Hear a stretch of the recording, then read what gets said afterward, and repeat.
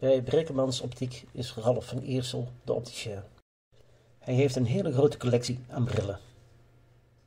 Op een rustige wijze voert Ralf de oogmeting uit. Heel professioneel. De lens die nodig is, die moet natuurlijk bewerkt worden. En daarvoor heeft Ralf diverse apparatuur tot zijn beschikking.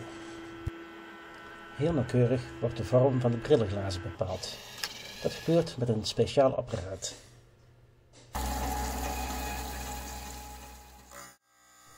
Vervolgens wordt het brillenglas precies op maat geslepen. Dit gaat volledig automatisch.